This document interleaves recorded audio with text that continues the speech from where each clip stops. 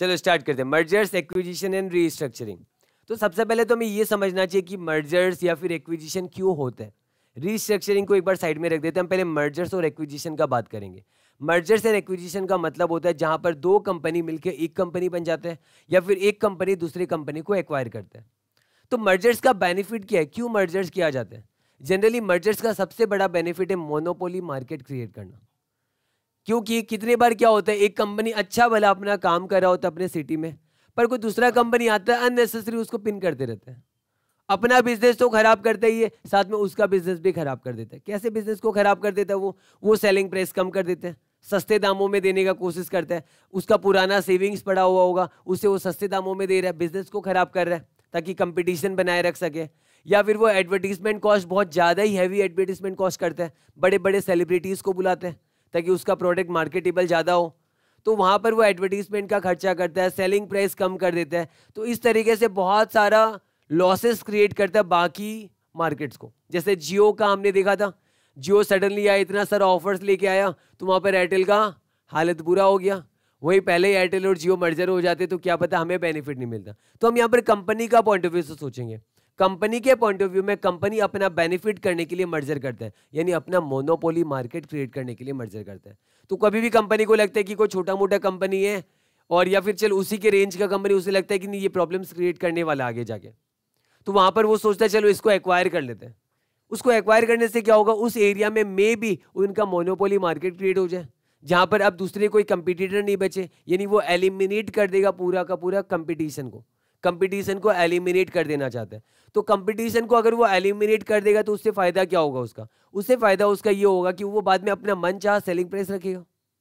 क्योंकि मार्केट में कोई कंपटीशन है ही नहीं तो वो जो सेलिंग प्राइस रखेगा, उसमें माल बिकेगा। जहाँ पहले बड़े बड़े सेलिब्रिटीज को बुलाने से चलता था, शाहरुख खान, सलमान खान, वहाँ लोकल सेलिब्रिटी से काम चला लेता हूँ तो एडवर्टीजमेंट कॉस्ट वगैरह का खर्चा कम हो जाता है।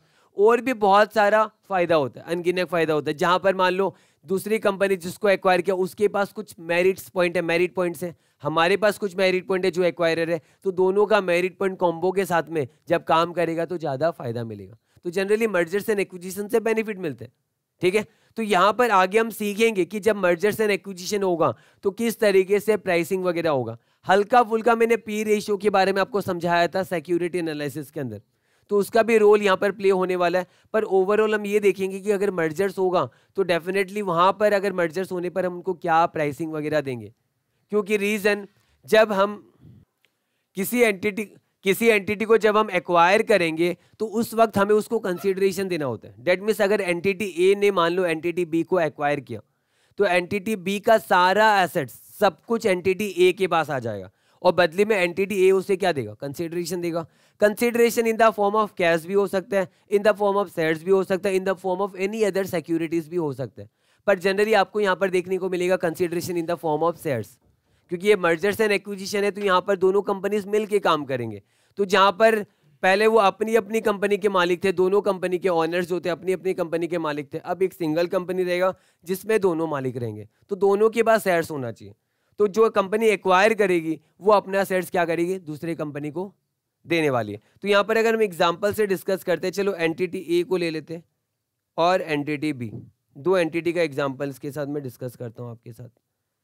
एंटिटी ए का मान लेते हैं नंबर ऑफ़ शेयर्स है। टेन लाख शेयर्स और एंटिटी बी का मान लेते हैं फाइव लाख शेयर्स है नंबर्स ठीक है? फिर बाद में मार्केट प्राइस पर शेयर अगर हम बात करें मार्केट प्राइस पर शेयर का अगर हम बात करें तो एंटिटी ई का रख लेते हैं। Five hundred rupees per share. और एंटिटी बी का रख लेते हैं। Two hundred per share. Suppose यहाँ पर क्या होगा? एंटिटी ए चाहता है एंटिटी बी को एक्वायर करना। चलो इन लोगों का प्रॉफिट भी रख देते हैं। अर्निंग पर शेयर भी दोनों का रख लेते हैं। अर्निंग पर शेयर ये टेन कमाता है और ये एट कमाता है। मतलब एनटीटी ए का अगर हमने डेटा देखा एनटीटी ए के total ten lakh number of shares है।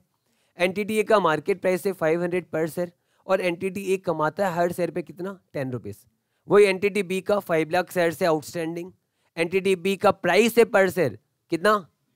Two hundred per share price है और entity B rupees eight per share कमाते हैं। तो यहाँ पर अगर entity A wants to acquire entity B entity A wants to acquire B on the basis of market price clear है? तो यहाँ पर एंटिटी बी क्या है? वेंडर कंपनी जो बिक रहा है। एंटिटी बी क्या है? वेंडर कंपनी ना? जो बिक रहा है और एंटिटी ए क्या है? परचेसिंग कंपनी जो खरीद रहे हैं ना? अब मेरा बात ध्यान से सुनो, इसको समझाने से पहले मैं ये जानना चाहूँगा, आप मान लो सब्ज़ी मार्केट में गए, ठीक है, सब्ज़ी मार्केट में गए, एक किलो गोभी खरीदा, एक किलो टमाटर खरीदा, एक किलो गाजर खरीदा, एक किलो प्याज खरीदा थोड़ा सा मिर्ची खरीदा, वगैरह वगैरह, बहुत सारा चीज़ आपने खरीदा। लास्ट में आप उसे क्या बोलते हो? भैया, कितने का टोटल कितना हुआ, ये बोलते हो ना आप उसे? मान लो बार्गेनिंग वगैरह करोगे, नहीं करोगे, छोड़ो उसे एक बार। आप उसे क्या पूछोगे? टोटल कितना हुआ? उसने आपको बोला, भैया टोटल छह सौ रुपया हुआ। फॉर एग्ज़ाम्पल उसने आपसे क्या कहा? भैया टोटल सिक्स हंड्रेड रुपीज़ हुआ। यानी वो कौन है? जो सब्ज़ी वाला है वो वेंडर कंपनी कह सकते हैं हम? वो बेच रहे हैं ना अपना सब्ज़ी? वो वेंडर कंपनी है। और हम कौन है? हम परचेसिंग कंपनी है। तो हम वेंडर कंपनी से कह रहे हैं, भैया, कितना हुआ?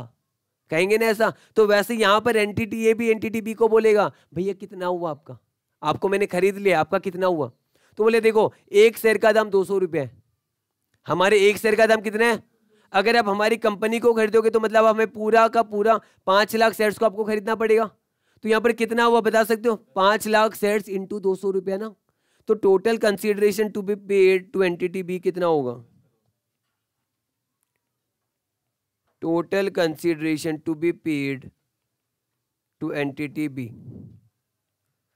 five lakh shares पे टू हंड्रेड करके हमें देना पड़ेगा ना। कितना हुआ? टेन करोड़। ये हुआ। हमने पूछ लिया, भैया, कितना हुआ? उसने बोला, छह सौ रुपया, ध्यान रखना। और वो छह सौ इक्विवेलेंट टू क्या, टेन करोड़। अब मेरे बात ध्यान से सुनो, मैं दस रुपए का गड्डी लेके घूम रहा हूँ पूरे मार्केट में। मेरे पॉकेट में सिर्फ़ दस रुपए का ही गड्डी है। मेरे पॉकेट में ट्वेंटी रुपीज़ नहीं है, फिफ्टी रुपीज़ नहीं, हंड्रेड रुपीज़ बट दस रुपए का बहुत सारा पैसा है। बहुत है दस रुपए मेरे पास। तो यहाँ पर मेरा बात ध्यान से सुनो। अगर वो मुझे बोलेगा कि छह सौ रुपया हुआ, क्या मुझे उसको कंसिडरेशन देना है in the form of cash दूँगा मैं सब्ज़ी वाले को? तो सब्ज़ी वाले को मैं दस का नोट कितना निकाल के दू? सिक्सटी पीसेस ऑफ़ दस का नोट निकाल के दू ना? तो आप बोलोगे number of number of currency of rupees ten आप क्या बोलोगे? सिक्सटी पीसेस देना चाहिए। तो यहाँ पर यहाँ पर देखो एनटीटी ए क्या पैसा देगा? एनटीटी ए जनरली यहाँ पर शेयर्स देता है। एनटीटी ए शेयर्स किसका देगा? अपना देगा कि उसका देगा? एनटीटी ए ने एनटीटी बी को खरीद लिया। कितना हुआ भैया? दस करोड़ रुपया। दस करोड़ रुपया में खरीद लिया। अब बदले में वो क्या देगा? शेयर्स का गड्डी है उसके पास तो। उसके पास पैसा नहीं है। उसके पास क्या है? शेयर्स का गड्डी है। तो शेयर्स कितने रुपए का शेयर्स का गड्डी है? पाँच सौ रुपए का शेयर्स का गड्डी है ना उसके पास। तो बता सकते हो नंबर ऑफ़ शेयर्स कितना दिया जाएगा? Therefore, number of shares to be issued number of shares to be issued, कितना? आप बोलोगे ten crore divided by five hundred कितना आया? टू लाख शेयर्स समझ आया? तो ये तो फ़र्स्ट केस था जहाँ पर हमने निकाला। मैं और ऑल्टरनेटिव आपके साथ डिस्कस करूँगा। फ़र्स्ट केस में मैंने आपके साथ निकाला कि नंबर ऑफ़ सेट्स कितना इशू करना चाहिए। आपने बोला टू लैख सेट्स इशू कर दो, भैया काम बन जाएगा। है ना? तो यानी डेट मीन्स अगर एनटीटी ए एनटीटी बी को एक्वायर करेगा तो बदले में वो उसे क्या देगा? नंबर ऑफ़ सेट्स कितना देगा? Two lakhs number of sets देगा ना? एग्री और नॉट पूरा का पूरा टू लैक्स सेट्स दिया जाएगा। अब अगर मैं सेकंड केस का बात करूँ।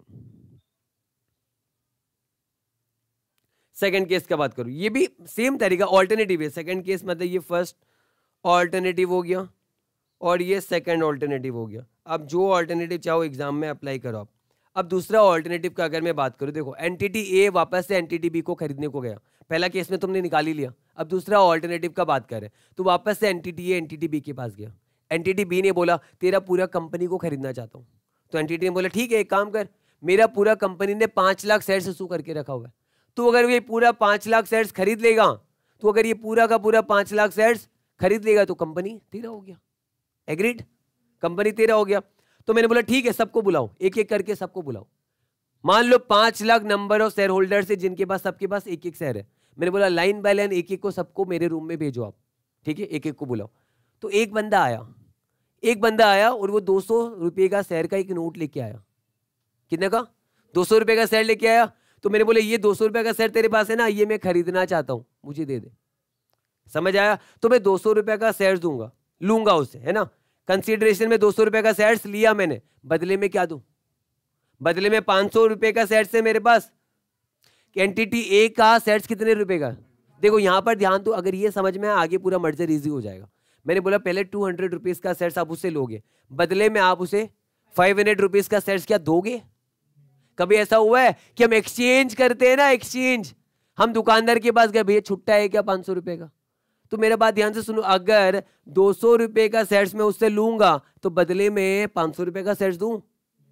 एक चीज़ कर सकता हूँ, मैं फाड़ के दे सकता हूँ यहाँ पर। सोच रहा नहीं, यहाँ पर समझो कि फाड़ के हम दे सकते हैं यहाँ पर। यहाँ पर हम फाड़ के दे सकते हैं रियलिटी में नहीं दे सकते पर यहाँ पर समझो, क्या मैं बदले में, मैं पूरा अपना एक पूरा फुल सेट दूँ कि उसका कुछ प्रोपोर्शनेट टुकड़ा दूँ?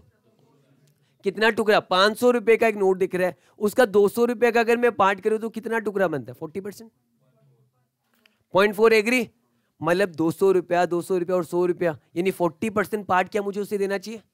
यानी अगर मैं उसे एक शेयर लूँ तो बदले में मुझे उसे एक शेयर देना चाहिए कि पॉइंट फोर देना चाहिए? ये समझ में आपको एकदम अच्छे से। यानी एक्सचेंज रेशियो क्या होगा? Point four share for every one share एक शेयर के बदले कितना देना चाहिए? Point four. तो एक लाख के बदली चालीस हज़ार। एक लाख के बदली चालीस हज़ार। तो पाँच लाख के बदली दो लाख। क्या पहले हमने दो लाख आंसर निकाला था? टू लाख शेयर निकाला था? एग्रेड तो यहाँ पर हम बात करेंगे पर शेयर बेसिस पहले तो मैंने, पहला वाला केस में क्या बोला? मैंने बोला, टोटल भैया कितना देना ये बता दो. उसने बोला, भैया टोटल दस करोड़ रुपया दे दो, हो जाएगा. मैंने बोला, ठीक है, मेरे एक शेयर का दाम पाँच सौ रुपया है तो पर शेयर की टोटल नंबर ऑफ़ शेयर कितना इस होगा हमने बता दिया. तो यहाँ पर भी अगर मैं दो लाख का बात करूँ, दो लाख शेयर दिया हमने for every four five lakh share held ना? फाइव लाख शेयर हेल्ड किया, तभी तो दो लाख दिया। तो देर इससे हमें पता चलता है पॉइंट फोर ही तो दिया हमने यहाँ पर भी। पाँच लाख के बदले अगर दो लाख दिया तो एक के बदले कितना दिया? Point four share for every one held फिर बाद में अगर हम सेकंड केस का बात करें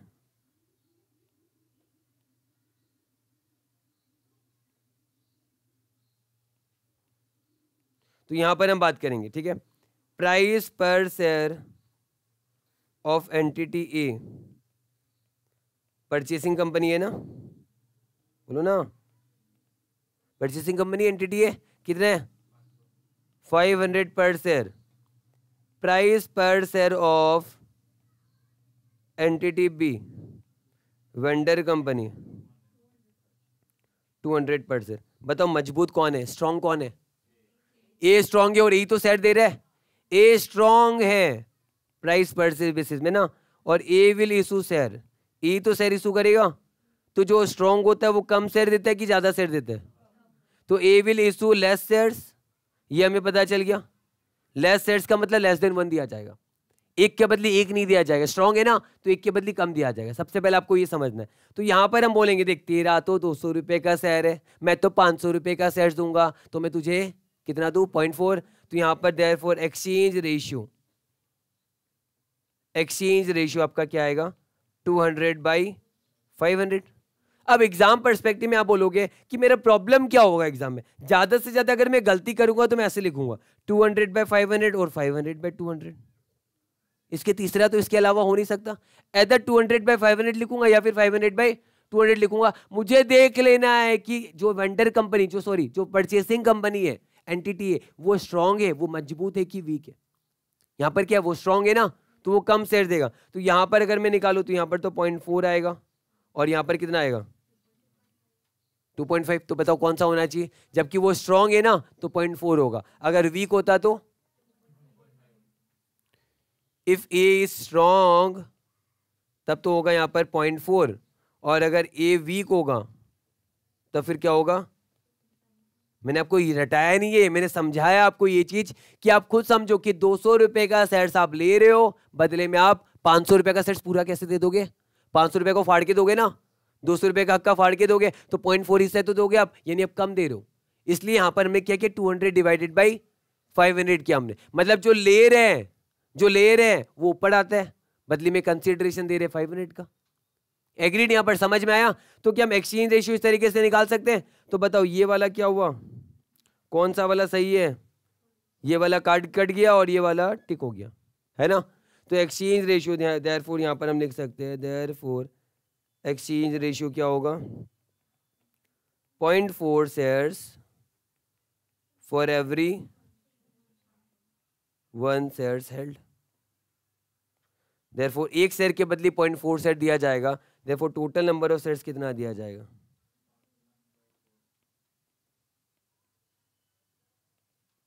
उनके मैं बता रहा हूँ, उनके एक शेयर के बदले हम उनको पॉइंट फाइव फ़ोन फोर दे रहे हैं।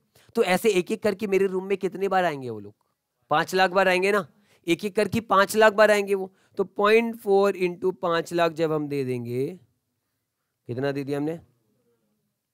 टू लाख शेयर्स हमने इशू कर दिया यहाँ पर। तो overall point number A point number B दोनों ऑल्टरनेटिव हमने निकाला कि नंबर ऑफ़ शेयर्स कितना इशू करना चाहिए हमें?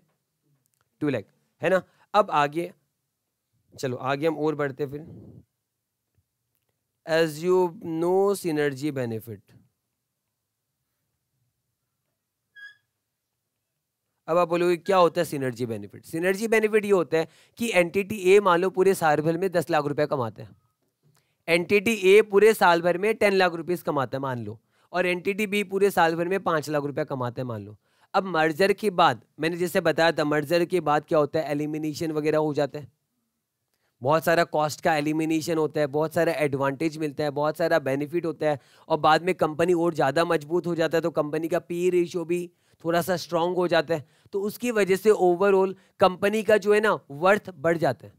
कंपनी का वर्थ क्या होता है? बढ़ जाता है। किसकी वजह से? मर्जर की वजह से। और वो जो वर्थ बढ़ता है, उसको कहते हैं हम सिनर्जी बेनिफिट तो मैंने यहाँ पर बोला एज्यूम नो सिनर्जी बेनिफिट मतलब जैसा पहले चलते आ रहा था, वैसे ही आगे भी चलते रहेगा। तो पहले कंपनी ये कितना प्रॉफिट कमाता था बता सकते हो?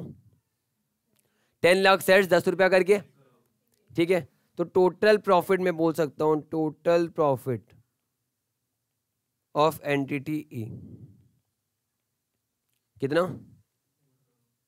Five lakh shares into ten ना? अच्छा सॉरी टेन लाख था ना? गलती हो गया। Ten lakh shares into ten, one crore. ये टोटल प्रॉफिट ऑफ़ एंटिटी ये हो गया। अब आगे total profit of entity B कितना? Five lakh into forty lakh therefore क्या बता सकते हो? टोटल प्रॉफिट आफ्टर मर्जर कितना होगा? आफ्टर मर्जर इनका टोटल प्रॉफिट होगा वन करोड़ फोर्टी लैक्स। सही लिखा मैंने? गलत लिख दिया क्या? ठीक है। अरे, एक करोड़ रुपया तो एंटिटी ए कमाता है, चालीस लाख रुपया एंटिटी बी कमाता है। मैंने एज्यूम किया नो सिनर्जी बेनिफिट मतलब कुछ चेंजेस होने वाला नहीं है। हालाँकि इससे ज़्यादा ही कमाएगा, क्या पता? पर हमने एज्यूम किया कि इससे ज़्यादा नहीं कमाएगा सिनर्जी बेनिफिट कुछ नहीं तो ये कितना कमाएगा? One crore forty lakh rupees कमाएगा नहीं है तो ओवरऑल ये one crore forty lakh rupees कमाएगा। और नंबर ऑफ़ शेयर्स कितने हैं? आफ्टर मर्जर कितना हो जाएगा? आफ्टर मर्जर एनटीटी बी का किस्सा खत्म। आफ्टर मर्जर एनटीटी बी का किस्सा खत्म। और एनटीटी ए का पहले शेयर आउटस्टैंडिंग कितने था? दस लाख शेयर आउटस्टैंडिंग था ना? और बाद में एनटीटी ए ने ओवर फर्दर शेयर इशू किया था ना? कितना? दो लाख। फर्दर और इशू किया था। तो ओवरऑल एंटिटी ए ए का मर्जर के बाद नंबर ऑफ़ शेयर्स कितना हो गया? Ten lakh plus two lakh, यानी ट्वेल्व लाख नंबर्स हो गया। एग्रीड तो यहाँ पर ट्वेल्व लाख नंबर्स हो गया तो यहाँ पर अगर हम देखेंगे therefore profit EPS after merger आएगा ना। Earning per share after merger कितना हुआ? 140 lakhs divided by 12 lakhs 11 point 11.66 आपका total profit EPS after merger हो गया। एग्रीड यहाँ पर। अब आप बोलोगे, क्या मेरा एक बात सुनो, ये जो मार्केट प्राइस आफ्टर मर्जर अगर मैं पूछूँ मार्केट प्राइस आफ्टर मर्जर कितना आपका? Number of shares after merger कितना होगा? आफ्टर मर्जर है ट्वेल्व लाख नंबर से है ना? Price per share after merger assume no changes यहाँ पर मैं एज्यूम कर रहा हूँ नो चेंजेस आगे आपको यहाँ पर भी चेंजेस मिलेगा प्राइस वगैरह में.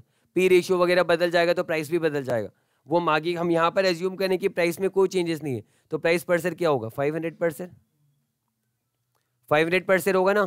तो देर टोटल वैल्यू क्या होगा? ध्यान रखना, मैंने यहाँ पर लिखा हुआ है, कोई चेंजेस नहीं है एज्यूम नो चेंजेस मैं अभी बस समझा रहा हूँ, तुम्हें कोई चेंजेस नहीं रख रहा हूँ तो कितना आया? कितना? सिक्सटी करोड़ क्या?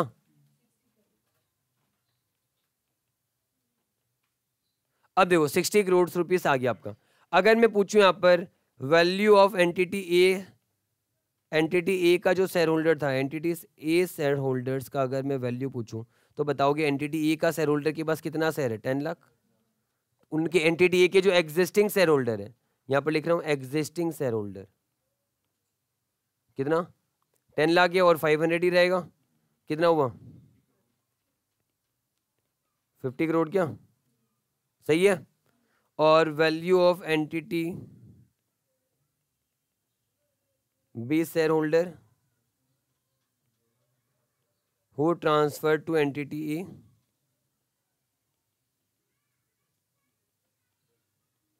कितना होगा? उनको दो लाख शेयर्स मिला ना? और उनका भी एक शेयर का दाम तो पाँच सौ है, क्योंकि एंटिटी ए का शेयर है उनके पास। उनके पास एंटिटी ए का दो लाख शेयर है, जिनका एक शेयर का दाम कितना है? फाइव हंड्रेड है तो कितना आया टोटल टेन करोड़ है ना? ठीक है? अब देखते हैं आगे। मर्जर से पहले एंटिटी बी का टोटल बिज़नेस का वैल्यू क्या था? टेन करोड़? अभी भी कितना है? अभी भी टेन करोड़ है। यानी कोई लॉस नहीं हुआ है। और मर्जर से पहले एंटिटी ए का कितना था? और अभी भी कितना है? यानी ओवरऑल बिज़नेस वैल्यू में कोई चेंजेस नहीं हुआ है। लेकिन ईपीएस e में चेंजेस हुआ है। क्योंकि ईपीएस e में तो ऑब्वियसली चेंजेस होगा। वो तो डिपेंड करता है ना ऑन पी रेशियो रीजन आगे मैंने हल्का सबको समझाया था पहले कि मैंने बोला था प्राइस कैसे निकल के आता है? अर्निंग पर शेयर और पी रेशियो से। तो अर्निंग पर शेयर और पी रेशियो अगर किसी भी कंपनी का अलग अलग रहेगा तो उसका प्राइस भी अलग अलग होगा। तो वैसा सिचुएशन में अगर दोनों कंपनी का पी रेशियो अगर अलग अलग होगा तो उससे तो इम्पैक्ट पड़ेगा या तो अर्निंग में या फिर प्राइस में। तुम देखते हैं, क्या आप बता सकते हो मुझे कि एंटिटी ए का पी रेशियो क्या है? एंटिटी ए का प्राइस है पाँच सौ रुपया, जबकि वो कमाता है दस रुपया। तो एंटिटी ए का पी रेशियो मुझे पचास दिख रहा है। एंटिटी ए का मुझे पी रेशियो कितना दिख रहा है? पचास कहने का मतलब एंटिटी अगर पचास रुपया लगाता है तो एक रुपया कमाता है। एंटिटी ए को एक रुपया कमाने के लिए कितना लगाना पड़ता है? मतलब एंटिटी ए के कोई भी इंसान शेयर होल्डर अगर वो पचास रुपया लगाएँगे, तब एक रुपया कमाएँगे। और दो रुपया कमाने के लिए कितना लगाना पड़ेगा? हंड्रेड चार रुपया कमाने के लिए? छः रुपया कमाने के लिए? आठ रुपया कमाने के लिए? दस रुपया कमाने के लिए?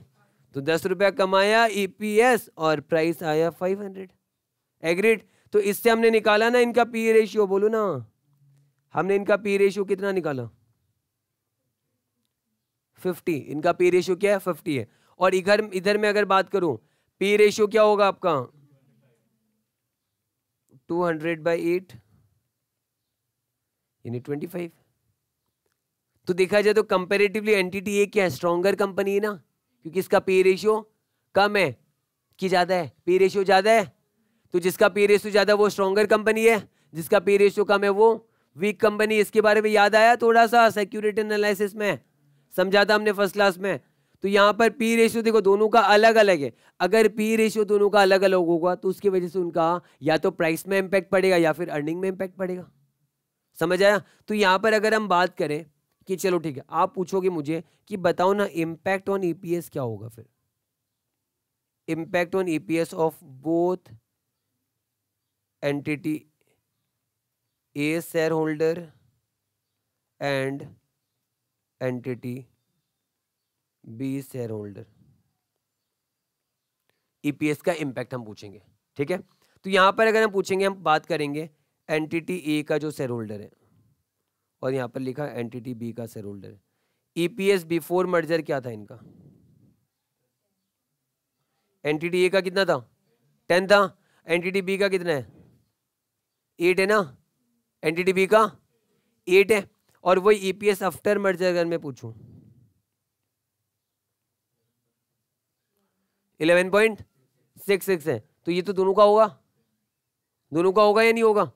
इलेवन पॉइंट सिक्स सिक्स और एनटीटी बी का कितना होगा बताओ? मेरे बात ध्यान से सुनो, पहले एनटीटी ए का यहाँ पर एक शेयर हुआ करता था। यहाँ पर भी इनका एक शेयर हुआ करता था। अब एनटीटी ए का वन शेयर में कोई चेंजेस हुआ है क्या? एनटीटी ए के पास पहले अगर एक शेयर था तो आज भी कितना है? एक शेयर ही है। आज भी कोई बदलाव हुआ नहीं है, लेकिन एंटिटी ए के पास जहाँ एक शेयर था, आज भी क्या एक शेयर है? याद आया कि भूल गए? वो जल्दी भूल जाते हो आप लोग। पॉइंट फोर एंटिटी ए के पास एक शेयर नहीं है तो जहाँ पर पहले एंटिटी का मान लो, एक काम करते, गरिमा गरिमा पहले एंटिटी बी का एक शेयर होल्ड करती थी। जैसे मैंने 500 लोग, पाँच लाख लोगों को कमरे में बुलाया था ना, एक शेयर के बदले पॉइंट फोर दिया था, वैसे मैंने गरिमा को भी बुलाया, गरिमा का एक शेयर को छीना, और बदले में दिया कितना? पॉइंट फोर दिया था। तो जो पहले गरिमा के पास वन शेयर हुआ करता था, आज गरिमा के पास कितना होता है? तो कंपनी तो पूरे की पूरे एक शेयर में 11.66 कमाती है। तो कंपनी ने क्या गरिमा के लिए 11.66 कमाया? कंपनी ने क्या गरिमा के लिए 11.66 कमाया हाँ या ना? कंपनी ने गरिमा के लिए कितना कमाया? मान लो ये हम लोग बात करें वन शेयर गरिमा। ठीक है? यहाँ पर भी लिखा गरिमा। स्पेलिंग ठीक है ना आपका? हाँ। तो यहाँ पर देखो पॉइंट फोर शेयर का इलेवन पॉइंट सिक्स सिक्स अगर करें तो पॉइंट फोर शेयर का किस, कितना, ये तो जाएगी। कंपनी के पास और अपना टुकड़ा शेयर लेके जाएगी पॉइंट फोर का। तो बोले अच्छा टुकड़ा शेयर लेके आया तो प्रॉफिट भी टुकड़ों में मिलेगा। तो कितना मिलेगा? क्या पूरा इलेवन पॉइंट सिक्स सिक्स मिल जाएगा? आया ना। तो कितना मिलेगा? निकाल लिया? चलो eleven point six six into point four कितना? तो देखा जाए तो एंटिटी ए का तो फ़ायदा हो गया। ईपीएस एक्रीशन ऑब्लिक डायल्यूशन क्या एंटिटी ए के शेयर होल्डर का फ़ायदा हो गया? कितने का फ़ायदा हो गया? पर शेयर हुआ ना? और एंटिटी बी की गरिमा का लॉस हो गया? Three point three three six का लॉस हो गया। गरिमा जैसे कितने लोग थे?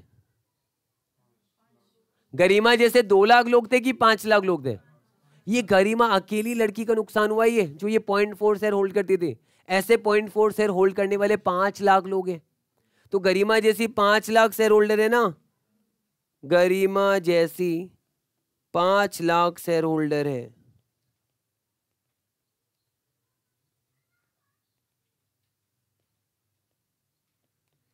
जिसका नुकसान, जिसका लॉस कितना हुआ? Three point three three six तो मैं लिख सकता हूँ ओवरऑल लॉस कितना? Three point three three six into पाँच लाख क्या? है ना? कितना? Sixteen lakh? Sixteen lakh sixty eight thousand. ये आया? अब यहाँ पर देखो। यहाँ पर मेरे जैसे जितने लोग थे वो उतने ही है अभी भी। पहले भी दस लाख थे और अभी भी, क्योंकि एनटीटी ए का शहर छीना नहीं गया है। नहीं बदले में उनको कुछ दिया तो एनटीटी ए का शहर में चेंजेस जो एनटीटी ए के एग्जिस्टिंग शेयर होल्डर थे, उनके शेयर पैटर्न में कोई चेंजेस तो उनका फ़ायदा कितना हुआ? और ऐसे कितने लोग हैं? मैं यहाँ पर मेरा नाम लिखता हूँ, ठीक है? प्रतीक जैसे दस लाख शेयर होल्डर थे और आज भी है है ना? दस लाख? तो ओवरऑल प्रॉफिट हुआ कि नुकसान हुआ इनका? ओवरऑल प्रॉफिट हुआ ना? कितने का? ये 1.66 एग्जैक्ट नहीं आया हुआ, आगे 11.66 कुछ था क्या? कंटिन्यूस चल रहा था ना? चलो फ्री है फ्री भी हम लोग ले लेते हैं। 1.66 point six six into ten lakh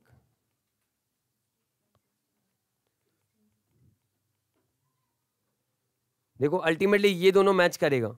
ये और ये मैच करेगा। आठ हज़ार का जो फ़र्क है वो डेसिमल प्लेसेस की वजह से फ़र्क है। समझ में आया? तो यानी कहने का मतलब ये है देखो, अगर मर्जर होगा तो एंटिटी ए ने कुछ बाहर से कुछ कमाने वाला नहीं है। कमाई तो वही हो रहा है। मैंने बोला कमाई में कोई चेंजेस यहाँ पर हो रहा है। मैंने कमाई में कोई चेंजेस रखा? पहले भी कंपनी दोनों कंपनी मिलके कितना कमा रहा था? कहाँ लिखा था मैंने? टोटल इनकम लिखा था ना मैंने टोटल इनकम ये रहा, पहले भी एंटिटी ए कमाता था हंड्रेड करोड़ और वो कमाता था फोर्टी लैक्स है ना? सॉरी हंड्रेड लैक्स और फोर्टी लैक्स कमाता था। तो आज भी तो हंड्रेड फोर्टी लैक्स ही कमाता है। तो आसमान से पैसा गिरा नहीं है। एक का फ़ायदा होगा तो दूसरे का घाटा होगा। एक का घाटा होगा तो दूसरे का फ़ायदा होगा। तो ये दोनों हमेशा मैच करेगा। हाँ या ना? समझ आया पूरे यहाँ तक? अच्छे से क्लियर हुआ? आगे बढ़ सकते हैं। तो मैंने यहाँ पर थोड़ा सा खिचड़ी बनाया। मैं एग्री करता हूँ। क्योंकि मुझे एक बार आपको समझाना आगे हम और करेंगे तो आगे और आपको क्लियर होगा। तो एक बार एक फ्रेश क्वेश्चन लेते हैं। फ्रेश क्वेश्चन का एग्ज़ाम्पल डिस्कस करते हैं। बाद में आप एक्सरसाइज क्वेश्चन देखो आपका तो हवा में होगा फिर वो। कोई टेंशन ही नहीं है उसका। तो अभी आप एक बार मेरे साथ करो। वापस से। नेक्स्ट एग्ज़ाम्पल हम लोग डिस्कस करते हैं। इस बार नाम रखता हूँ अलग अलग। क्या नाम रखो बताओ चलो, एक तो रख देते हैं गरिमा लिमिटेड ठीक है? और एक किसका नाम रखना है बताओ राहुल लिमिटेड एकदम कोने में बैठा हुआ है। ठीक है? राहुल लिमिटेड का नाम रखा हमने। तो यहाँ पर दो जनों का नाम रखा, दो कंपनी है। एक को बनाते हैं एक्वायरर कंपनी इसको बनाते हैं एक्वायरी वेंडर कंपनी ठीक है? एक्वायरी या फिर वेंडर बोल सकते हो आप। इसे परचेसिंग भी बोल सकते हैं हम लोग। तो यहाँ पर वापस अगर हम डिस्कस करें, क्या ले नंबर ऑफ़ सेट्स ले लेते पहले? नंबर ऑफ़ सेट्स इसका है, मान लो फिफ्टीन लैख वो ज़्यादा हो जाता है फिफ्टीन लाख डेढ़ लाख सेट्स रखते हैं। One lakh fifty thousand sets और इसका रखा हमने वन लाख सेट्स रखा हमने इसका। ठीक है? फिर आगे अर्निंग पर अर्निंग पर हमने रखा यहाँ पर ट्वेंटी और इनका रखा टेन और इस बार हमने पी रेशियो दोनों का रख दिया। पी रेशियो इसका है इसका है ट्वेंटी फाइव और इसका है फिफ्टीन तो मेरा बात सुनो ना, अगर अर्निंग पर आपके पास और आपके पास पी रेशियो है तो क्या प्राइस निकल के आ जाएगा? तो यहाँ पर अगर मैं बात करूँ देर प्राइस अगर मैं बात करूँ तो प्राइस क्या होगा? फाइव हंड्रेड होगा? कैसे निकाला आपने? P by E equal twenty five ना? और प्राइस ई e लिख दिया P by twenty equal twenty five E की जगह ई पी एस तो है ना पी का ई e. ई e का ई पी एस लिखा मैंने देर फॉर पी इक्वल क्या हो गया? Twenty five into five hundred हुआ क्या? तो प्राइस इसका आया कितना? फाइव हंड्रेड और अगर इसका बात करूँ मैं पी बाई ई कितना है? फिफ्टीन और P by fifteen equal fifteen अच्छा पी बाई ई टेन है क्या? अच्छा ई टेन है ना? Sorry P by ten equal fifteen therefore P equal कितना हो गया? वन फिफ्टी हो गया यहाँ पर. यहाँ पर मैं वो पहले वाला सब्ज़ी मार्केट वाला नहीं बताऊँगा. टोटल भैया कितना हुआ, वो तो आपको समझ में आएगी कैश जैसे आप निकाल के देते हो ना. अब मैं आगे बात करूँगा सिंगल सिंगल शहर का. ठीक है? तो यहाँ पर आप देखो. ये सारा चीज़ समझ में आया हमें। प्राइस भी हमने निकाल ली यहाँ पर। तो अगर हम आगे और भी हम कुछ कुछ डेटा निकालना चाहें तो यहाँ पर मैं लिखते जाऊँगा। टोटल प्रॉफिट बता सकते हो कितना हुआ? टोटल प्रॉफिट कितना? ये ट्वेंटी रुपीज़ पर शेयर कमा रहा है। और नंबर ऑफ़ शेयर है वन लैख फिफ्टी थाउज़ेंड तो one lakh fifty thousand into twenty करेंगे तो टोटल प्रॉफिट आ जाएगा कितना? थर्टी लैक्स क्या? और इधर वन लैख शेयर्स पे दस रुपया करके कमाया जा रहा है। तो टेन लाख कमाया गया? आया ना? फिर total market value total market value को मार्केट कैपिटलाइजेशन भी बोला जाता है। टोटल मार्केट वैल्यू बिज़नेस एक शेयर का दाम कितना है? Five hundred number of share कितना है? वन लैख फिफ्टी थाउज़ेंड तो टोटल मार्केट वैल्यू कितना हुआ? कितना seven fifty seven fifty lakhs सही है? उधर? One lakh into one fifty ना? तो वन फिफ्टी लैख है ना? One lakh into one fifty तो वन फिफ्टी लैख ही होगा। ये निकाला हमने। और और क्या निकाल सकते हैं? बस हो जाएगा। चलो, ये सारा चीज़ निकाला हमने। अब मान लेते हैं एन ई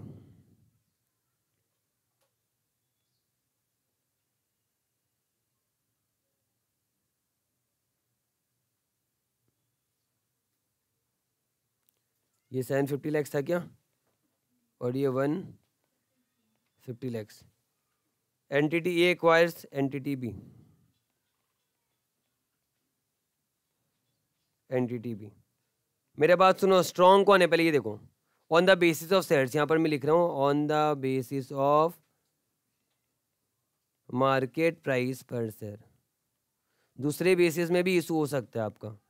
एक्सचेंज रेशियो दूसरे बेसिस में भी हो सकता है। हम पहले अभी मार्केट प्राइस ही सीख रहे हैं। जनरली मैं मार्केट प्राइस के बेसिस में ही होता है, जो भी होता है। ठीक है? तो अगर हम मार्केट प्राइस के बेसिस में बात करें, वापस से बताओ ना, कौन स्ट्रॉन्ग लग रहा है आपको? प्राइस वाइज गरिमा स्ट्रॉन्ग है इस बार। ठीक है? अच्छा एंटिटी ये क्यों लिखा फिर? फिर तो बुरा मान जाएगी, गरिमा राहुल दोनों। मिर्ज़ा, गरिमा एक्वायर्स राहुल, ठीक है? तो यहाँ पर, कहा थे हम लोग? क्या करने वाले थे? एक्सचेंज रेशियो है ना? तो यहाँ पर बताओ, गरिमा स्ट्रॉन्गर है कि वीकर है? Garima is stronger than Rahul ठीक है? In terms of only market price ठीक है? राहुल पूरा मान जाएगा फिर। मार्केट प्राइस में स्ट्रॉन्गर है, गरिमा राहुल से। तो therefore Garima will issue less than one sir agree issue less than one sir for every one sir held ठीक है? तो एक्सचेंज रेशियो क्या होगा? वो बोले, देख, तेरा तो एक शेयर का दाम डेढ़ सौ रुपया है, मेरा एक शेयर का दाम पाँच सौ रुपया तो मैं तुझे अगर शेयर दूँगा तो पूरा नहीं दे सकता। तेरे एक शेयर के बदले तुझे प्रियंका, क्या नाम है? स्नेहा। तेरे एक शेयर के बदले तुझे कितना दूँगा? पॉइंट थ्री, ठीक है? सोना नहीं है। One fifty by five hundred. इतना खराब पढ़ा रहा हूँ क्या मैं? हाँ Sneha?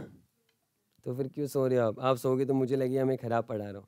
Point three zero sets for every one share held ठीक है? तो एक्सचेंज रेशियो क्या होगा? Point three zero sets for every one share held therefore अब बताओ, राहुल जैसे कितने लोग थे राहुल के अंदर? राहुल लिमिटेड के अंदर कितने सारे लोग थे? मैंने तो एक जन को दिया अभी तक। मैंने तो एक जन को दिया। एक शेयर के बदले कितना दिया? पॉइंट थ्री दिया। तो टोटल कितने लोग हैं वैसे? एक लाख। तू टोटल कितना शेयर दू? टोटल शेयर्स इशूड कितना होगा? बोला एक को दिया पॉइंट थ्री ज़ीरो शेयर एक के बदले। तो एक एक एक एक करके आते जाएँगे ना? कितने लोग? एक लाख लोग आते जाएँगे।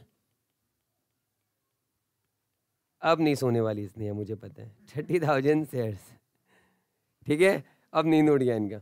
इन्हें पता है ना मैं ध्यान देते रहूँगा उधर। Thirty thousand shares therefore आप बताओ न, आगे जाके टोटल प्रॉफिट आफ्टर मर्जर क्या होगा? एज्यूम नो चेंजेस ठीक है? कितना होगा? थर्टी लाख और टेन लाख ना? दोनों मिला के चालीस लाख कमाएँगे अब। आफ्टर एक्विजिशन लिख दो मर्जर एक्विजिशन में मर्जर लिख रहा हूँ तो पूरा मत माना आफ्टर एक्विजिशन हो जाएगा वो। टोटल प्रॉफिट आफ्टर एक्विजिशन कितना? फोर्टी लैख और number of shares Nupur after acquisition कितना? दिखने में प्रॉब्लम हो रहा है आपको? यहाँ आ जाओ। तो यहाँ पर वापस है। Number of shares after acquisition कितना होगा? उनका कितना था? वन फिफ्टी ना? और इनको इशू कर दिया thirty thousand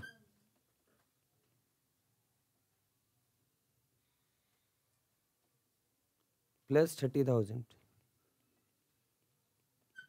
बोलना eighty thousand shares therefore आएगा, क्या आएगा? आफ्टर मर्जर कितना आएगा? Forty lakhs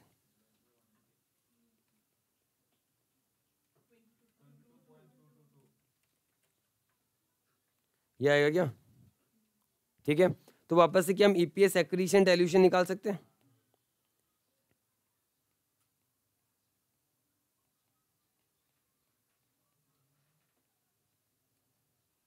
EPS accretion dilution अगर हम निकालें तो बताओ हम्म क्या होगा? क्या नाम था? गरिमा। और इधर, राहुल। फिर ईपीएस बिफोर मर्जर मर्जर से पहले ही कितना कमाते थे? गरिमा के लोग कितना कमाते थे? ट्वेंटी और टेन ना? क्या हो रहा है ट्वेंटी और टेन ईपीएस आफ्टर मर्जर कितना हो जाएगा? इसका तो नंबर ऑफ़ सेट्स में कोई चेंजेस हुआ नहीं, क्योंकि इसका पहले भी वन सेट था और अभी भी। अब यहाँ भी twenty two point two two लिख दोगे तो बर्बाद हो जाओगे अब इनको एक शेयर के बदले कितना मिला? पॉइंट थ्री शेयर मिला ना? तो कितना आएगा? Point three into twenty two point two two triple six लिख दिया मैंने। और इधर twenty two point two two two होगा, ठीक है ना? सही है? कितना आया? इधर। ये क्या? हाँ थ्री थ्री लिख दिया। चलता है। तो यहाँ पर देखो, अब two point two two two कितने लोगों ने कमाया?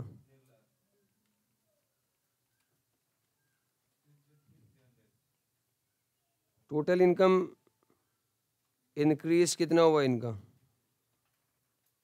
कितना?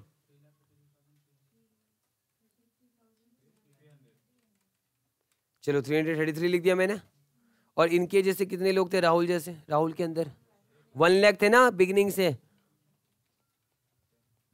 वन लैख थे? इनका टोटल इनकम इनकम डिक्रीज हुआ है क्या इनका?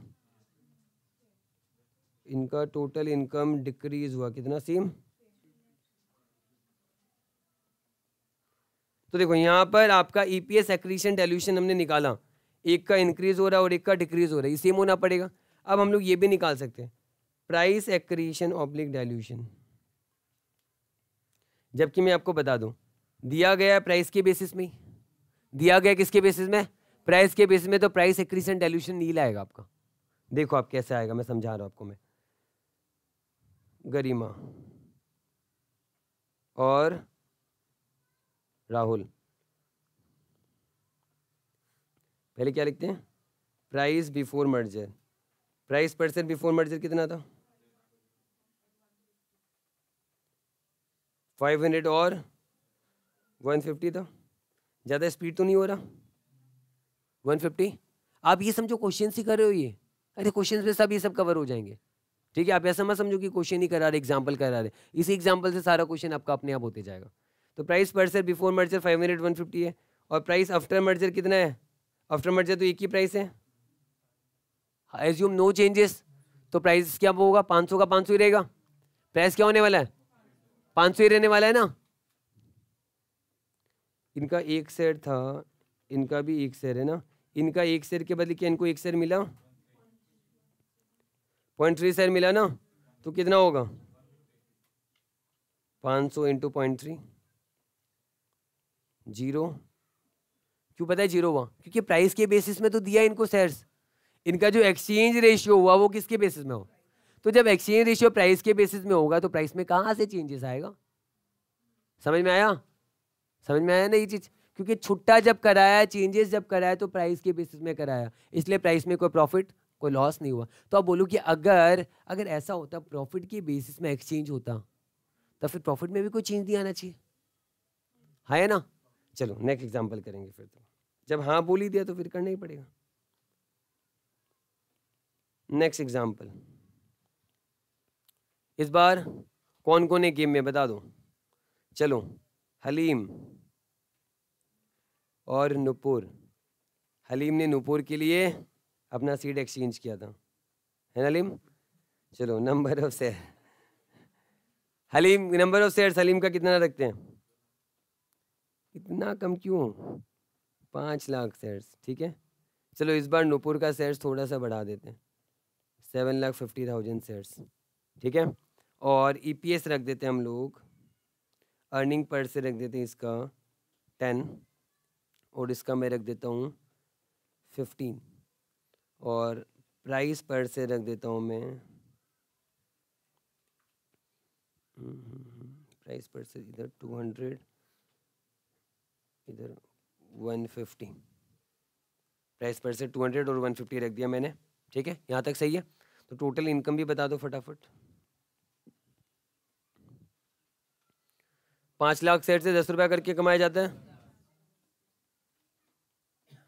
इधर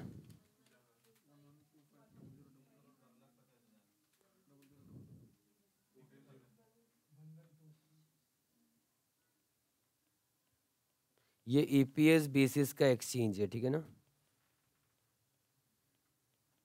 ऊपर हमने किया था प्राइस बेसिस में एक्सचेंज ये आपका ईपीएस बेसिस में एक्सचेंज करेंगे, ठीक है? Halim acquires Nupur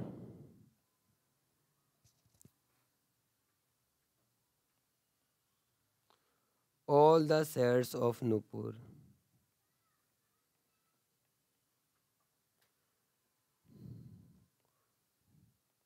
On the basis of profits. Profits के बेसिस में शेयर्स एक्वायर करेगा। तो यहाँ पर देखो, हलीम का कमाई कितना होता है? ईपीएस ऑफ़ हलीम टेन है और ईपीएस ऑफ़ नूपुर कितना है? पंद्रह तो यहाँ पर हलीम देखा जाए तो ईपीएस वाइज वीक है। हलीम जो ईपीएस वाइज वीक है ना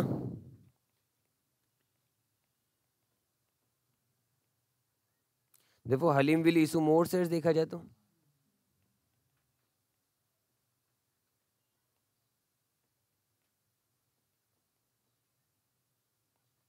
तो यहाँ पर ध्यान देना। देखो हलीम का ईपीएस है टेन, और नुपुर का ईपीएस कितना है? पंद्रह। तो हलीम ईपीएस हलीम नुपुर को बोलेगा, मैं तो दस रुपए कमाता हूँ, तू तो पंद्रह रुपया कमाती है, और तुझे ईपीएस में तेरा कोई एक्रीशन डायल्यूशन नहीं होना चाहिए, नहीं on the basis of EPS होना चाहिए तो मैं तुझे अगर अपना एक ही शेयर दूँ तो फ्यूचर में तो मेरे एक शेयर पे दस रुपये कमाई होगा। वो आगे आपको पता चलेगा, क्योंकि ईपीएस के बेसिस में अगर हम देंगे तो ईपीएस में तो कोई चेंज हलीम का हो नहीं सकता, वो आगे बात करूँगा, रुक जाओ पर मैं ही बोलूँगा, हलीम बोलेगा नूपुर को, अगर मैं तुझे अपना, तेरा एक शेयर के बदले अपना एक शेयर दूँ, तब तो देखा जाए तो तू दस रुपया कमाएगी। लेकिन तुझे पंद्रह रुपया तू कमाती है ना, यानी तू स्ट्रॉन्गर है। कितना one point five time stronger है ना? मतलब कह सकते हैं, Nupur is stronger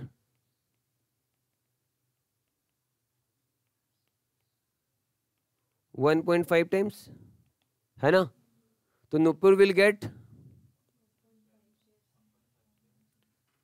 हलीम मतलब ज़्यादा शेयर देगा ना तो नुपुर को ज़्यादा शेयर मिलेगा। Nupur will get one point five shares for every one share held तो देखा जाए तो एक्सचेंज रेशियो फिर क्या होगा, बता सकते हो? एक्सचेंज रेशियो आप बोलोगे, इस बार ही फिफ्टीन बाय टेन बोलोगे आप। एक्सचेंज रेशियो और फिफ्टीन बाई टेन की हम ऊपर हमेशा पास वाले को रखते हैं। पास वाले को लास्ट टाइम भी ऊपर रखा था। ऊपर कौन रहता है पता है? एक्वायरी आप बोलोगे अच्छा पहले तो ऐसा नहीं हुआ था। दिखा देता हूँ। पहले ऐसा हुआ था कि नहीं हुआ था? वन फिफ्टी कौन था? एक्वायरी था ना? ठीक है? और भी दिखा दूँ? ये 200 कौन था? एक्वायरी था। यानी वेंडर वेंडर का दो सौ रुपया था, हमारे तो पाँच सौ था। ये देख लो, दो सौ। एक्वायरी वेंडर ठीक है? तो यहाँ पर भी किसको रखा? वेंडर को रखा ना? ये फिफ्टीन भी कौन है? एक्वायरी है ना? तो कितना दिया गया? शेयर फॉर एवरी तो नूपुर टोटल शेयर कितना हेल्ड करती है? नूपुर के लोग। सेवन लाख फिफ्टी थाउज़ेंड ना? तो टोटल शेयर इशू कितना होगा?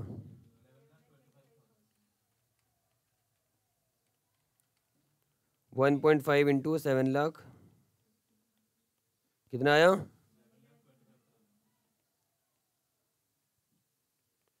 Eleven lakh twenty five thousand है ना? शेयर्स फॉर टोटल प्रॉफिट बता दो आफ्टर मर्जर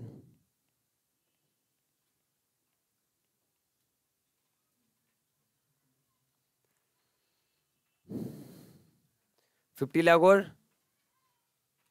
ये कितना है? ये कम कमाता है, ये ज़्यादा कमाता है अच्छा। One crore twelve lakh fifty thousand क्या? Fifty lakh plus one crore twelve lakh fifty thousand ना? कितना आया? ये आया? और नंबर ऑफ़ शेयर्स कितना? हलीम का कितना था? पाँच लाख। और उसको कितना दे दिया? ग्यारह लाख। पच्चीस हज़ार, कितना हो गया? सोलह लाख पच्चीस हज़ार सेट्स ना?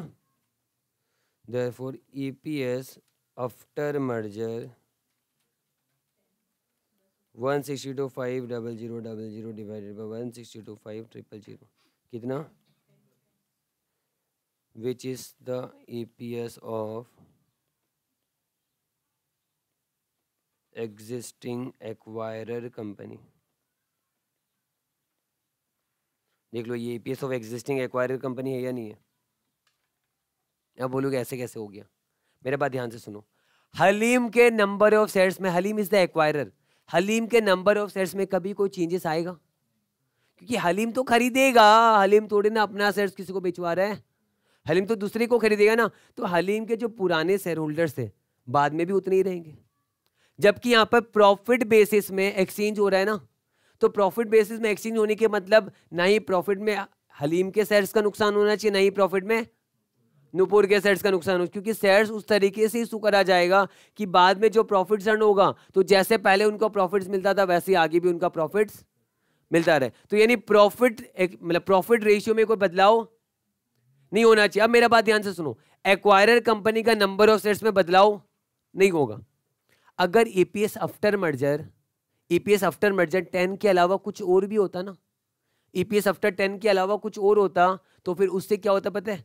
एग्जिस्टिंग कंपनी का ईपीएस एक्रीशन या डायल्यूशन हो जाता फिर।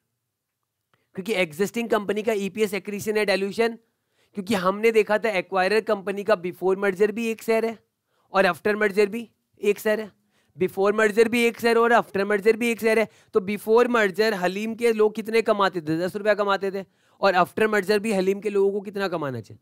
दस रुपया कमाना चाहिए। तो ये दस रुपया कब आएगा? जब ईपीएस आफ्टर मर्जर भी क्या हो? दस रुपये हो यानी आपको ये हमेशा सोचना है, जब कभी भी ईपीएस के बेसिस में एक्सचेंज होगा ना, जब कभी भी ईपीएस के बेसिस में एक्सचेंज होगा, तब ईपीएस आफ्टर मर्जर जो होगा will always be equivalent to EPS of the existing acquirer company before merger समझ नहीं आया ये? मैंने बोला एक्सचेंज जब कभी भी होगा on the basis of what price और ईपीएस एक्सचेंज जब कभी भी होगा on the basis of EPS EPS अगर होगा प्राइस का बात नहीं करा। अगर एक्सचेंज हमेशा जब कभी भी on the basis of EPS होगा तो ईपीएस आफ्टर मर्जर जो है ना ईपीएस आफ्टर मर्जर जो है will always be equivalent to EPS of the acquirer company before merger यानी कहने का मतलब आप बोलोगे, क्या ईपीएस आफ्टर मर्जर हमेशा यही आएगा? मैं कहूँगा हाँ। ईपीएस आफ्टर मर्जर हमेशा ये आएगा। तो एक इंपॉर्टेंट नोट यहाँ पर लिखवा दो अब? लिख दो?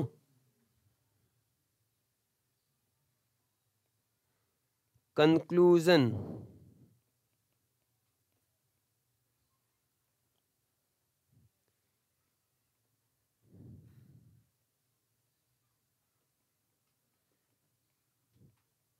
if exchange of shares is on the basis of EPS then EPS after acquisition that is merger है ना will always be equivalent will always be equivalent to what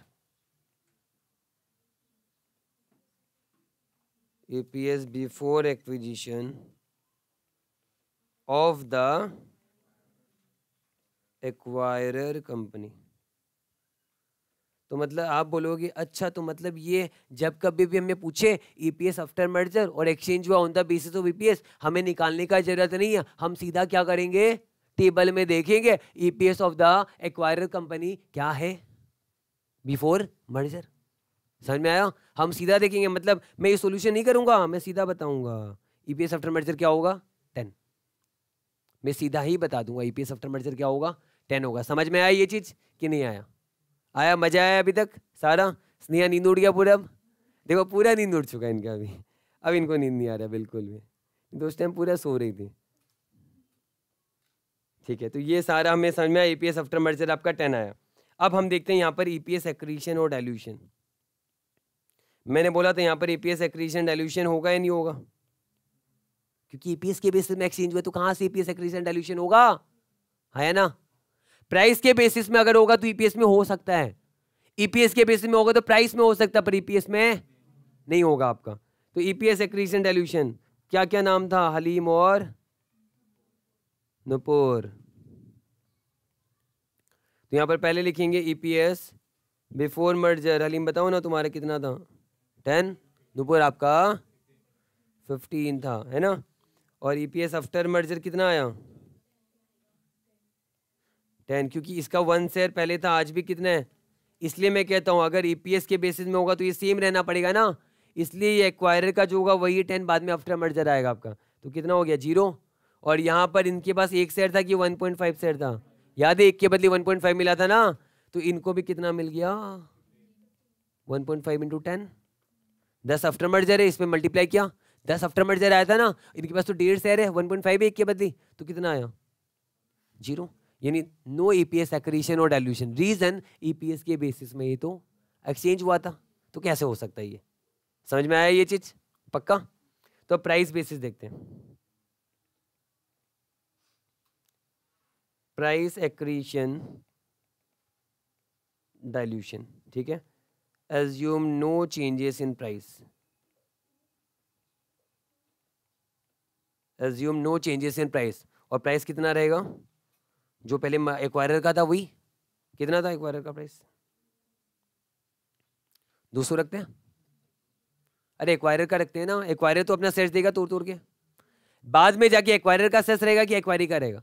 acquiree तो खत्म। एक्वायरी के शेयर होल्डर को भी acquirer का sets मिलेगा। और मैंने बोला प्राइस में एज्यूम किया कि कोई चेंज नहीं है। एज्यूम किया मैंने। ऐसा नहीं कि हमेशा ऐसा होगा नहीं होगा ऐसा। एज्यूम किया कि कोई चेंज नहीं तो दो सौ रुपये का दो सौ रुपये रहेगा। प्राइस इक्वल टू हंड्रेड तो बताओ प्राइस बिफोर मर्जर क्या था? दोनों का, एक का टू हंड्रेड था और एक का वन फिफ्टी था। और प्राइस आफ्टर मर्जर कितना है? वन फिफ्टी है ना? दो सौ इसके पास तो एक शेयर के बदले एक शेयर है, पर इसका दो सौ शेयर, दो सौ रुपया आपका था ना प्राइस में? प्राइस दो सौ रुपया था इंटू थ्री हंड्रेड हो गया। कितना आया इधर? ज़ीरो प्राइस में देखो चेंजेस आ गया। कितने का? 150 का। इनका ज़ीरो का लॉस हुआ, इनका 150 का चेंजेस आ गया। अब आप बोलोगे कि ऐसा क्यों हुआ? यहाँ पर एक तरफ़ नुकसान नहीं हुआ, एक तरफ़ फ़ायदा नहीं हुआ, ऐसा क्यों नहीं हुआ? रीज़न मैंने एज्यूम किया कि प्राइस में कोई चेंजेस नहीं है। पर जनरली प्राइस में भी चेंज हो जाएगा। जब कंपनी का नंबर ऑफ़ सेट्स बढ़ जाएगा और कंपनी का उतना फंड्स नहीं आएगा तो वहाँ पर वो अगर ज़्यादा शेयर्स दे देगा तो उसका तो प्राइस कम होगा ही। तो ओवरऑल ये वाला चीज़ आप धीरे धीरे आगे सीखोगे पे रेशियो वगैरह में कि ओवरऑल इम्पैक्ट पड़ेगा तो ये प्राइस जो टू हंड्रेड रहेगा ही नहीं आपका। ये प्राइस जनरली बदल जाते हैं। तो जिससे आप आगे सीखोगे। पर फ़िलहाल के लिए समझ आया ये चीज़ कि जब आप प्राइस के बेसिस में शेयर इशू करोगे तो प्राइस में चेंजेस नहीं होते जब आप ईपीएस e के बेसिस में शेयर इशू करोगे तो ईपीएस e में चेंजेस नहीं आता पक्का? क्लियर है? तो यहाँ तक हमने समझा तो अब हम स्टार्ट करेंगे क्वेश्चन सिंपल सा क्वेश्चन नंबर वन आ जाओ।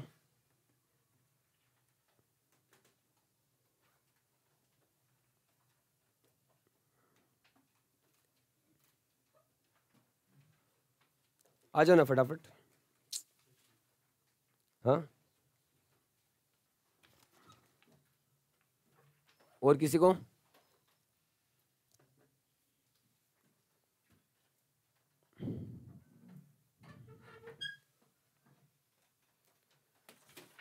हो जाएगा, रहने दो रहने दो रहने दो। छोड़ो, मैं उठा लूँगा। क्वेश्चन नंबर वन, बताओ ना, करे? देखो ना अर्निंग आफ्टर टैक्स इनका दिया हुआ है सिक्सटी लाख रुपीज़ और ट्वेल्व लाख आपका नंबर ऑफ़ शेयर से। तो क्या ईपीएस e पता चल रहा है? बताओ ना। EPS of M K EPS of M K कितने हैं? फाइव है क्या? यहाँ पर भी लिख देता हूँ फाइव ईपीएस और दूसरे वाले का? सिक्स हो गया आईपीएस अब यहाँ पर पूछा find the exchange of equity share for acquisition सबसे पहले एम के एक्वायर करेगा किसको? एन एन को। तो M K is the acquirer M K acquirer है one N K acquiree date is vendor on current market value price में आपका एक्सचेंज होगा ना? Exchange of equity set is based on current market value तो price के basis में हो रहा है? तो यहाँ पर देखो एम की का प्राइस कितना है? टू हंड्रेड और एन एन का प्राइस कितना है? तो एम के एन एन को बोले देख, मेरा शहर का दाम तो दो सौ रुपया है, तेरा शहर का दाम तो सिर्फ़ एक सौ साठ रुपया है। तो एक्वायरर स्ट्रॉन्गर है ना? तो मैं बोलूँगा, तेरा एक शेयर में छीनूँगा, बदले में मेरा एक शेयर नहीं दूँगा पॉइंट एट दूँगा, फाड़ के दूँगा एट्टी परसेंट हिस्सा दूँगा। यानी पॉइंट एक्सचेंज रेशियो क्या होगा?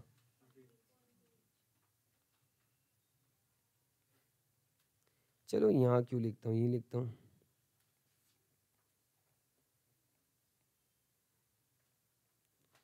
One sixty by two hundred ना? मैं वापस यहाँ पर लिख देता हूँ। समझा है फिर, पर फिर भी पता नहीं, अब गलती मत कर देना, ये एक्वायरी का है हाँ? हमेशा ऊपर एक्वायरी का रहता है।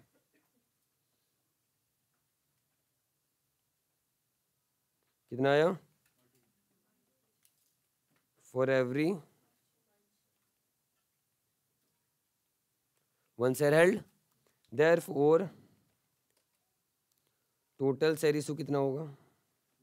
कितने लोग हैं ऐसे? उनके तीन लाख है क्या? टोटल उनके तीन लाख लोग हैं। हर एक इंसान को एक शेयर के बदले पॉइंट एट दूँगा। तो रूम में एक ही करके आएँगे सब, तीन लाख लोग। क्योंकि मैं ऐसा क्यों बोल रहा हूँ? क्योंकि आप कभी कभी बारह लाख से मल्टीप्लाई मत कर देना, गलत हो जाएगा। तीन लाख लोग एक एक करके आएँगे। सबको मैं पॉइंट एट पॉइंट एट दूँगा। तो टोटल कितना दे दिया? Point eight into three lakh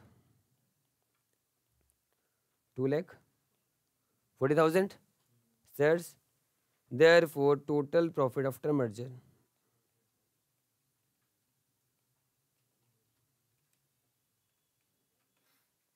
लिखा हुआ है क्या? सिक्सटी प्लस एटीन सिक्सटी और एटीन मिला दिया? Seventy eight lakh number of shares after merger पहले से कितना? है बारह लाख उनका अपना है ही। और इशू कितना कर दिया? दो लाख चालीस हज़ार। Fourteen lakh forty thousand. सीधा लिख दूँ? चलेगा ना? मैं पूरे डिटेल्स में दिखाऊँ। EPS after merger seventy eight lakhs. Five point four one six, पक्का? चलो, ये भी हो गया हमारा।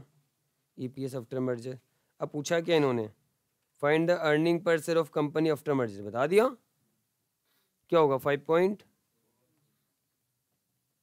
find the exchange ratio so that the shareholders of N N limited would not be at a loss बोला कि एक्सचेंज रेशियो ऐसे बताओ कि जहाँ पर आपका एक्सचेंज शेयर होल्डर्स का, देखो, यहाँ पर ऐसा एक्सचेंज रेशियो हुआ, यहाँ पर भी लॉस हुआ नहीं इनका। इन टर्म्स ऑफ़ प्राइस यहाँ पर लॉस हुआ नहीं है। पर मैं आपको बता दूँ, ये जो इनको क्लियरली लिखना था, इन्होंने क्लियरली लिखा नहीं, यहाँ पर लिखना था would not be at a loss in case of earnings लिखना था इनको। इन केस ऑफ़ अर्निंग्स लिखना था इनको। समझ में आया? ये हल्का सा इनका गलती है, मैं कह रहा हूँ। लॉस तो इनका ऐसे भी नहीं हो रहा है, क्योंकि प्राइस के बेसिस में एक्सचेंज करके दे रहे हैं ना उनको। क्योंकि अब उनको पास पॉइंट एट शेयर है। उनके पास कितना पॉइंट एट शेयर है? और वो एक शेयर का दाम दो सौ रुपये तो दो सौ इंटू पॉइंट एट तो वन सिक्सटी हुआ ना। पहले भी तो उनका वन सिक्सटी था।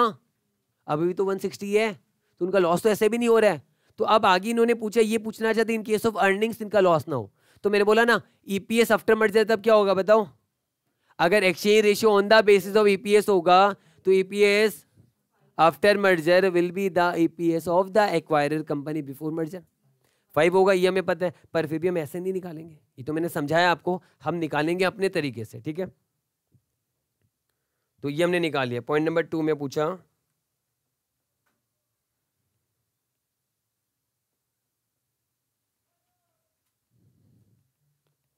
नो लॉस इन ईपीएस होना चाहिए यहाँ पर, ठीक है? तो यहाँ पर फिर देयरफॉर एक्सचेंज रेशियो क्या होगा?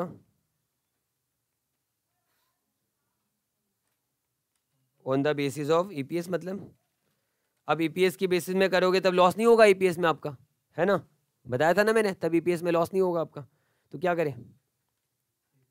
एक्सचेंज रेशियो क्या होगा? एक्वायरर को बोलूँगा, देख, तू तो छः रुपया कमाता है, मैं तो पाँच रुपया कमाता हूँ। है ना? दुखी मन से। क्या करूँ? सिक्स बाई फाइव है ना?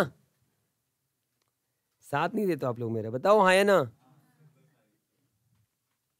उसे ज़्यादा मिलेगा ना? कितना? One point two share for every therefore total share issue उनके कितने तीन लाख है क्या? Three lakh therefore total profit after acquisition कितना होगा?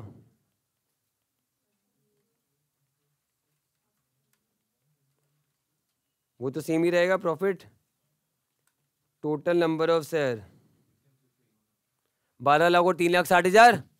अपना बारह, उनका तीन लाख साठ. कितना हो गया? देखना ईपीएस फाइव आएगा. बोला था ना, वही आएगा. हमें तो पहले से पता है. अगर नहीं आया ना तो समझ ना आप गलत हो। कुछ गलती किया आपने। हमेशा फाइव ही आएगा वो। ई पी एस फाइव आ गया। कब का ये आफ्टर तो हम यहाँ पर वेरीफाई करके बताएँगे। ज़रूरत नहीं है। हमने बता दिया, पर हम वेरीफाई करके फिर भी दिखाएँगे इनको। ठीक है? ये नोट है पार्ट ऑफ़ सॉल्यूशन हाँ। एग्ज़ाम सॉल्यूशन का पार्ट नहीं होगा ये।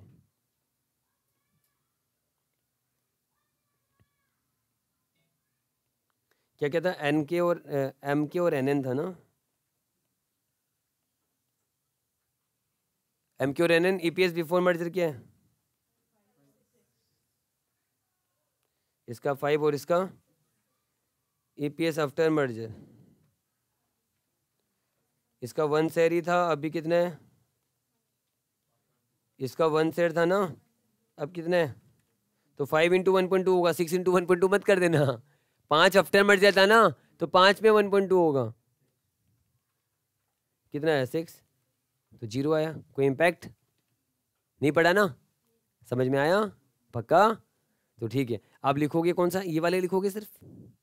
बाकी तो पीडीएफ जाएगा। अरे, ये लिखोगे ना, आप पूरा क्लास खत्म कर दोगे मेरा फिर आज। हाँ ना, नहीं दूँगा मैं। क्लास पूरा खत्म कर देता आप लोग। पीडीएफ देखते रहना, आराम से लिखते रहना। क्वेश्चन से दे रहा हूँ लिखने को। ऐसे मत करो अमित। टाइम का बहुत कीमत है अभी हमारा। क्वेश्चन नंबर वन लिखोगे? बोलो हाँ।